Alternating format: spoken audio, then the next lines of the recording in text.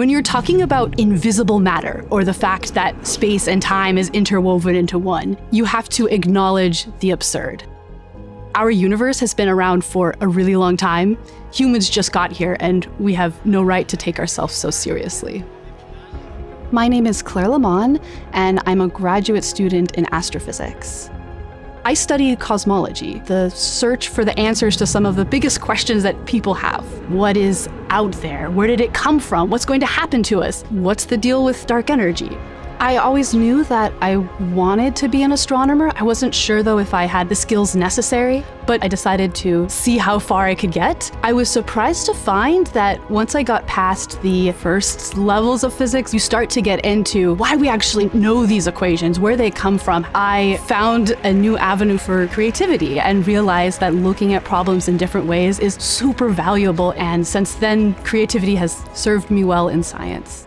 I work with a lot of different mediums. I really like planetariums. I like art. I like baking. I like to make baked goods that represent my research. If you make a plot of the size of the universe as a function of time, it started out very small, it started to get bigger, and then the expansion is now starting to speed up. We're, we're not quite sure why, and we call this Y dark energy.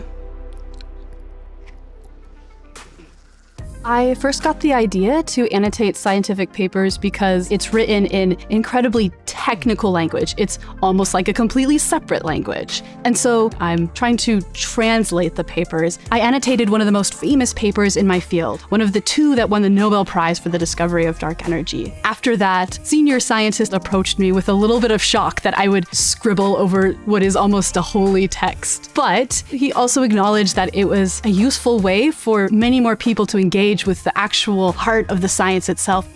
As a kid, if I had a better understanding of the value of creativity and research, I probably would have believed a lot more in my ability to become an astronomer.